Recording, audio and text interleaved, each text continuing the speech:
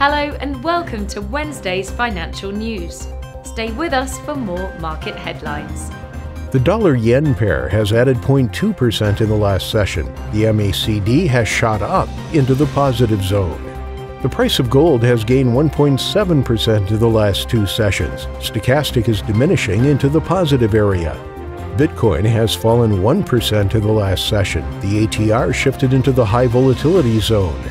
The Aussie dollar pair has fallen 0.3% in the last session. The ultimate oscillator moved sharply into negative territory. Coming up, the choices from our chief analyst for today.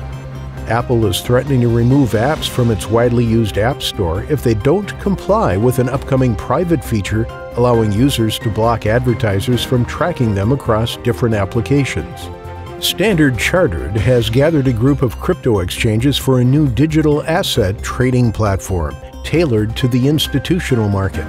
Investors clearly expect the COVID 19 induced economic dip to end soon and earnings to reach new highs in the near future.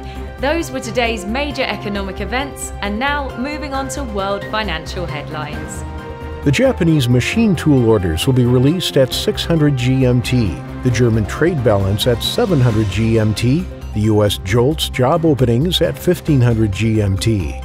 The Canadian BOC interest rate decision at 1500 GMT, the US crude oil inventories at 1530 GMT, and the Japanese PPI at 2350 GMT. We hope that you've enjoyed Wednesday's market outlook.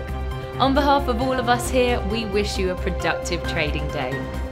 Be sure to join us tomorrow morning for the latest news and events from the financial markets.